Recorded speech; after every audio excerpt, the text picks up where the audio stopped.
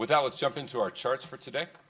Uh, the first one you see, this is just the revised dashboard. This should be live um, in a few hours. Um, what you'll see there on the top left is uh, very significant or, or uh, similar to what you've seen throughout this, the doses received, doses administered, pending documentation. That's just we know we've given a shot. It's being uploaded into the system. And then the to be administered is just those that are scheduled uh, in, the, uh, in, in the next seven-day time frame. And so you can see that that remains the same.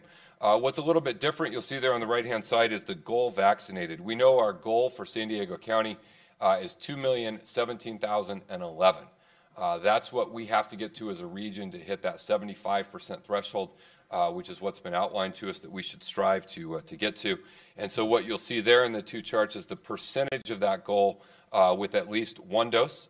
Uh, and then on the other chart, you'll see the percentage of that goal who are fully vaccinated. So you'll see we are 60% of the way uh, towards the goal we're, we're, uh, we're striving for, which is 75% with first dose and 37.5% uh, of the way towards the goal uh, that we want to achieve on fully vaccinated. Uh, next chart, you'll see our cases, again, holding relatively steady. You have days where it it you know blips up and down a little bit. But again, from the beginning, we've never said the day-to-day numbers. Uh, it's the trend line over time, and, and what you see with that purple line there, that's the 14-day rolling percentage of positive average. Uh, that is holding very steady and even descending uh, or declining uh, ever so slightly. We're now below 2% uh, on our percentage of positive at 1.9%. So uh, that remains very encouraging. Normal fluctuations in testing. Testing, of course, has gone down. Um, and that is not because it's not available, just San Diegans are seeking the test less. Uh, but we will continue to ensure that the testing will be available, uh, widely accessible for anyone who, who would like to get a COVID test.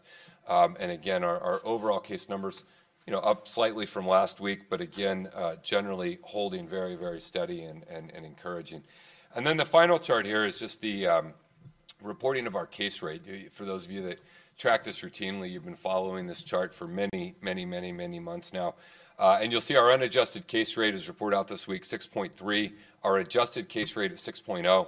Um, up ever so slightly from last week, but, but not, not, not of any significance or not of any concern. Our testing positivity percentage, uh, roughly the same.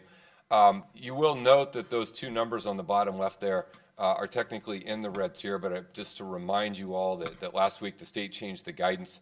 Uh, there is no danger that we would backslide to red uh, simply based on a case count. And so we are comfortably in orange uh, where we expect to uh, remain until hopefully we see our cases descend more as more people get vaccinated, hopefully into the yellow, and then with anticipation of that June 15th retiring of the tiers.